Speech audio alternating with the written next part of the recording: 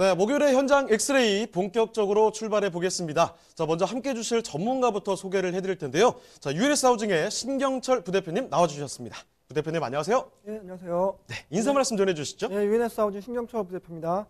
어, 올 그 부동산 시장은 이제 각종 대출, 뭐 규제 이런 것들을 혼선이 많은데요. 오늘도 아, 하나씩 기본을 알아가면서 정리가 되어지는 시간이 되었으면 좋겠습니다. 자, 앞서 오프닝부터 말씀을 드렸는데 지금 12, 16 부동산 대책 뭐 굉장히 또 화두가 되고 있습니다. 자, 이와 관련한 이야기를 현장 만나보러 가기 전에 좀 듣고 가도록 할 텐데요. 자, 오늘 그러면 강의 먼저 전해 주실까요? 네, 그렇게 하겠습니다. 12, 16 부동산 대책이 어, 이제 고강도로 이제 8.2 대책, 9.13 대책, 이제 분양가 상한제와 더불어 이제 그 고강도 대책에 나왔는데요.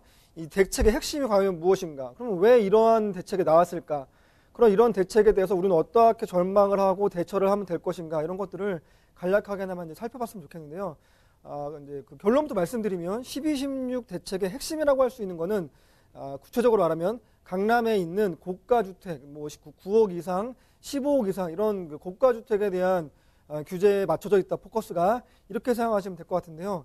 이렇게 이제 생각해 볼 수도 있을 것 같아요. 예전에 저희 학교 다닐 때는 맞기도 했었잖아요 선생님들한테 선생님이 야 너 잘못했으니까 반장 나와 뭐 이런 개념이거든요. 자, 그 15억 이상, 그러니까 9억 이상의 고가 주택을 이제 그 규제를 하다가 보면 그것들의 가격이 안정이 되면 그거보다 좀 더 주변에 있는 것들의 그 부동산 가격도 자- 자연스럽게 잡히지 않을까 이런 이런 것들을 기대하면서 이런 이제 핵심 그, 그 규제가 나왔을 거라고 생각이 되어지는데 그러면 이런 규제가 과연 왜 나왔을까를 먼저 생각해 보고 이제 대처를 하는 게 좋을 것 같은데요. 자 내년에 같은 경우에는 장기적인 저금리 현상이 계속 유지될 것으로 보입니다. 현재 실질적인 이제 그 금리가 1.25로 역대 최저거든요. 근데 이런 역대 최저를 넘어서 내년에는 더 금리가 장기적으로 낮아질 것으로 많은 전문가들이 예상을 하고 있는 가운데 아, 유동성이 굉장히 풍부해질 것이다. 뿐만 아니라 뭐 이전 예산 책 정도 그렇고 확대 예산이 되어졌고 그다음에 내년에 풀리는 토지 보상금만 해도 50조를 넘는다는 이런 말들이 있으니까 아, 시중에 갈곳 투자처를 잃은 갈곳 잃은 그런 유동성들이 부동산 시장으로 몰릴 것이다라는 것들이 이제 1차적인 것이고요. 그 다음에 강남에 역시 마찬가지로 대형 개발 호재들이 아직도 많이 산재해 있다는 거죠. 뭐 예를 들면 영동대로 통합 개발이라든가 국제교류 복합지구라든가 그 다음에 뭐 강남 이제 그 잠실 종합운동장 재건축 사업이라든가 기타 뭐 서부간선도로 지하사업, 경부고속도로 지하사업, 동부고속도로 동부간선도로 지하사업 이런 서울의 핵심 지역에 많은 그런 대, 대형 개발 호재들이 많이 남아 있는 가운데 유동성은 풍부하고 그것들을 아 우리 집이 좋아지니까 아 사고 싶다라는 구매 동기도 분명한 가운데 어, 이렇게 이제 그 내년에도 이런 고가 중, 주택을 중심으로 가격이 상승할 거로 예상이 되니까 이런 이제 규제책이 나올 수밖에 없을 거라고 예상이 되는 건데요. 아, 박원수 시장이 말씀하셨어요.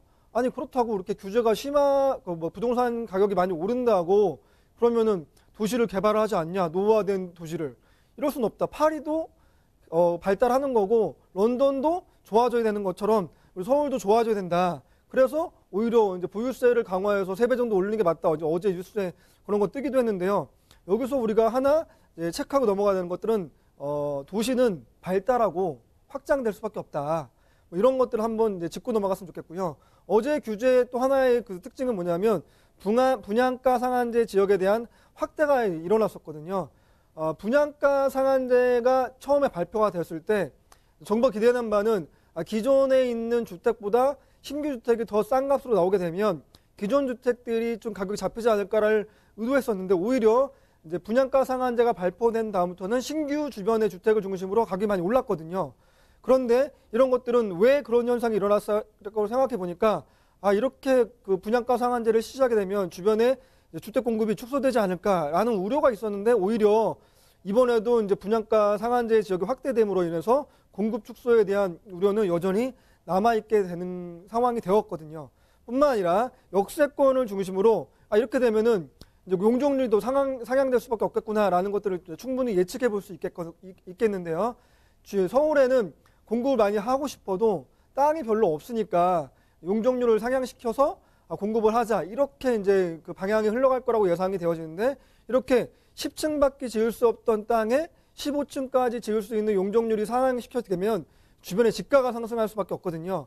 그래서 결론적으로 아 이런 이제 그 규제 체계의 핵심이 어, 대출을 규제하고 그 다음에 세금을 강화해서 수요를 억제한다라는 것들을 이제 가, 가게 되면 이것들은 이제 근본적인 이제 대책이 될 수는 없다. 그렇기 때문에 당장 수요를 억제했기 때문에 고가 중심에 대한 단기적인 조정은 물론 있겠지만 이후에 아, 근본적인 해결책이 아직 나오지 않았기 때문에 아, 다시 재상승을 할 수밖에 없겠구나라는 이런 예측을 조심스럽게 어, 하게 됩니다.